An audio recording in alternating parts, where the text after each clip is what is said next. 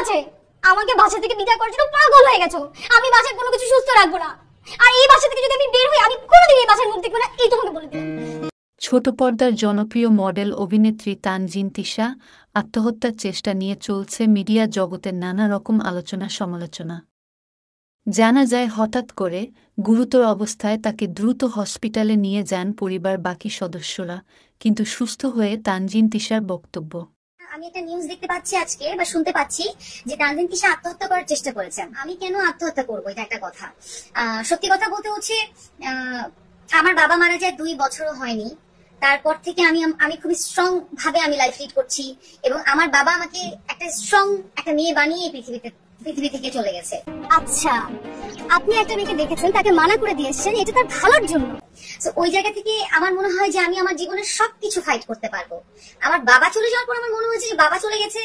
এখন জীবনে আর এমন কিছু নেই যেটার থেকে আরও বেশি কষ্ট আমি আসলে পাবো, যেটার জন্য আমার সুইসাইড করতে হবে। এমনিতে আমার ভালো লাগছে না, তার মধ্যে সো আমি কালকের ঘটনাটা একটু বলতে চাই। I was sick I was মানে আমি আমি খুবই অসুস্থ ছিলাম কালকে।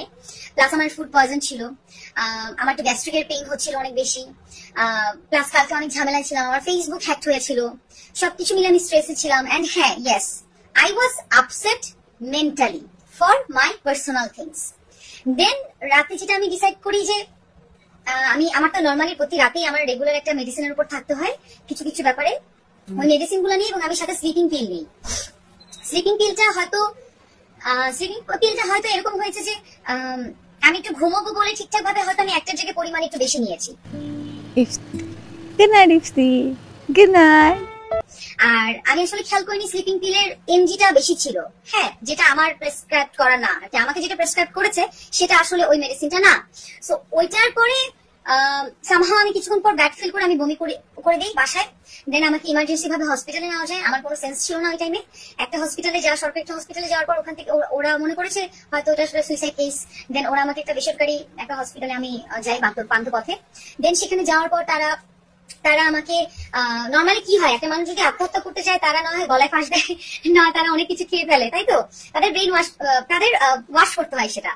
আমাদের ডক্টর কিন্তু, আমি এটা আজকে শুনলাম ডক্টর কিন্তু বলেছে, চাইলে আমরা এইভাবে রাখতে পারি চেকআপে আপনারা চাইলে যদি যেটা খেয়ে ফেলেছে, যেটা সাইড এফেক্ট হয়েছে, যদি আপনাদের মনে হয় যে সেটা আমরা রিস্ক নিব না, তাহলে আমরা ওয়াশ করব। দেন মাই ফ্যামিলি টুক ডিসিশন আচ্ছা ঠিক আছে, আমরা রিস্ক নিব না, আমরা একটা ওয়াশ করব। দেন তারা ওয়াশ করে, আমি সকালে ঘুম থেকে উঠে উঠে দেখি, আমি হসপিটালে অ্যাডমিট এই ব্যাপারটা আসলে ঘটে এবং আমি সকালে ঘুম থেকে উঠে আমি দেখতে পাই যে আমাকে নিয়ে নিউজ হয়েছে যে আমি তানজিন তিশা আত্মহত্যার চেষ্টা করেছেন।